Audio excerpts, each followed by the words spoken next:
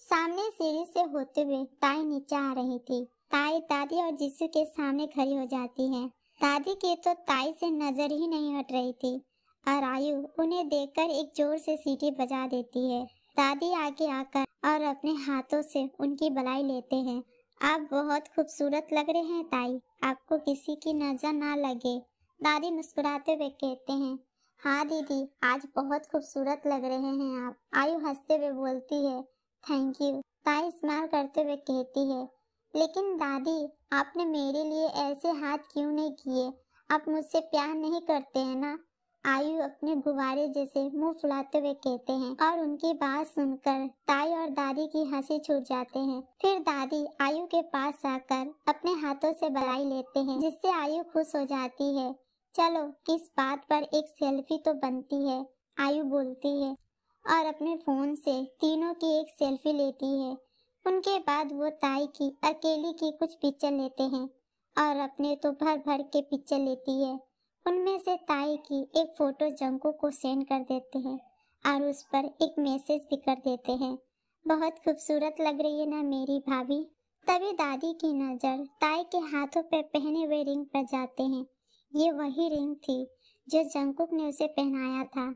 वो इस बारे में ताई से पूछने ही वाला होता है कि तभी उनके फ़ोन में रिंग करने लगते हैं। वो फ़ोन उठाती है और कुछ बातें करके फ़ोन रख देती है। वो रिंग के बारे में भूल ही जाती है और आयु को देखती है, जो अपने मोबाइल में बिज़ी थी।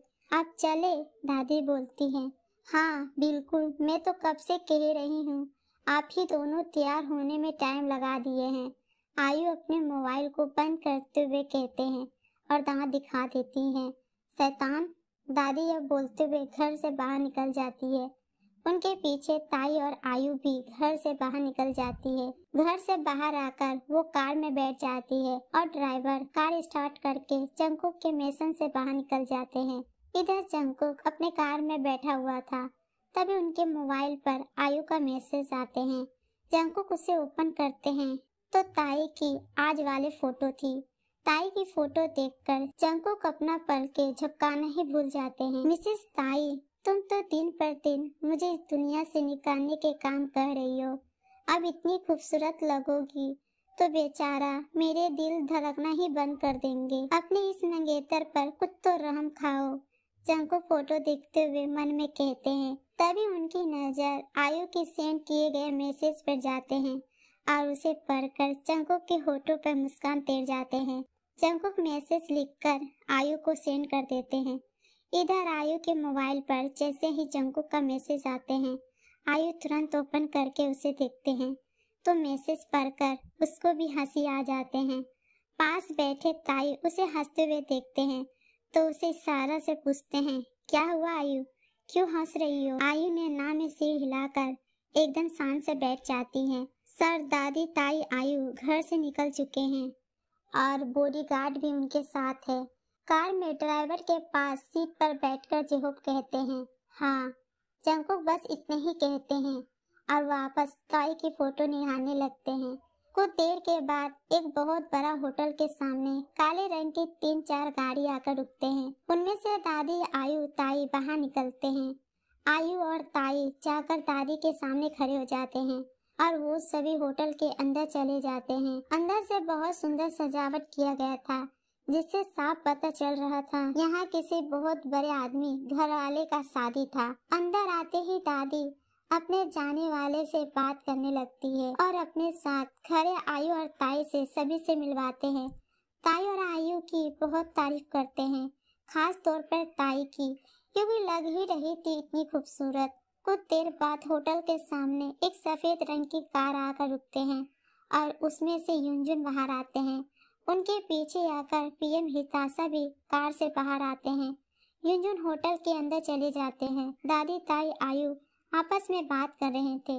युंजुन जैसे ही होटल के अंदर आते हैं, तभी उनकी नज़र सामने उन तीनों पे जाते हैं। लेकिन जैसे ही उनकी नज़र ताई पे जाते हैं तो एक पल के लिए वो अपने पल के झपकाना भूल जाते हैं। ओ मिसेस ताई, जब भी तुम्हें देखती हूँ ना, तुम्हें पानी के लिए और ख्वाहिश पड़ जाते हैं।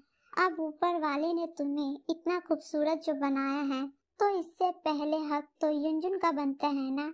युनजुन अपने मन में ताई को अपने हवस भरे नज़रों से देखते हुए कहते हैं, तुम यहीं रहो, और जो बोला है, वो हो जाना चाहिए। मैं जा रही हूँ नानी से मिलने के लिए। युनजुन ये बोलकर एक टेबल स्माइल देते हैं और उन तीनों के पास चले जाते हैं। नानी सा आप यहाँ। अचानक युनजुन को वहाँ देखकर दादी चौक जाते हैं। आयु और ताई उसे देखकर हैरान हो जाते हैं। अगले ही पल दादी देखते हैं कि युनजुन किस तरह से ताई को देख रहा है तो उन्हें बहुत गुस्सा आ जाते हैं। आयु, ताई, आप दोनों वहाँ जाके बैठिए। हम अभी आते हैं। दादी उन दोनों को आवाज़ देते हुए कहते हैं तो वो दोनों वहाँ चले जाते हैं। क्या नानी सा हमें भी किसी से मिला दीजा कीजिए युनजुन शैतानी हँसते हुए कहते हैं। आप यहाँ क्या कर रहे हैं युनजुन दादी गुस्सा से उसे कहते हैं। दादी के बात सुनते ही युनजुन एक सातिर मुस्कान अपने होठों पे ले आते हैं, जिससे दादी देखकर डर जाते हैं। उन्हें युनजुन को यहाँ आना कुछ गलत होने का आदेश दे रहा था।